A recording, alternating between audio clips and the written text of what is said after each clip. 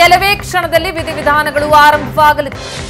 ಅಯೋಧ್ಯೆಯಲ್ಲಿ ರಾಮ ಮಂದಿರ ನಿರ್ಮಾಣಕ್ಕೆ ಶಿಲಾನ್ಯಾಸ. ಶಿಲಾನ್ಯಾಸದ ವಿಧಿವಿಧಾನಗಳು ಇವತ್ತು ಆರಂಭವಾಗ್ತಾ ಇದೆ. ಕೆಲವೇ ಕ್ಷಣಗಳಲ್ಲಿ ವಿಧಿವಿಧಾನಗಳು ಆರಂಭ. ರಾಮ ಜನ್ಮಭೂಮಿ ವ್ಯಾಪ್ತಿಯಲ್ಲಿರುವಂತಹ ಕುಬೇರ ತಿಲಕ ಮಂದಿರದಲ್ಲಿ ಪೂಜೆ. ಶಿವನಿಗೆ ರುದ್ರಾಭಿಷೇಕದೊಂದಿಗೆ ಧಾರ್ಮಿಕ ವಿಧಿವಿಧಾನ ಆರಂಭವಾಗ್ತಾ ಇದೆ. ಶ್ರೀರಾಮ ಜನ್ಮಭೂಮಿ ತೀರ್ಥಕ್ಷೇತ್ರ ಟ್ರಸ್ಟ್ನ ನೇತೃತ್ವದಲ್ಲಿ ಕಾರ್ಯ ನಡೆಯಲಿದೆ. ಶಿವನಿಗೆ ರುದ್ರಾಭಿಷೇಕದೊಂದಿಗೆ ಧಾರ್ಮಿಕ ವಿಧಿವಿಧಾನ ಆರಂಭ.